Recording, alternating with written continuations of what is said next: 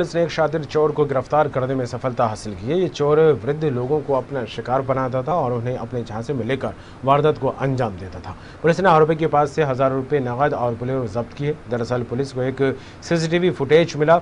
इसमें आरोपी शिकायतकर्ता से शिकायतकर्ता के साथ नज़र आया। फुटेज के आधार पर पुलिस ने आरोपी की तलाश शुरू कर दी।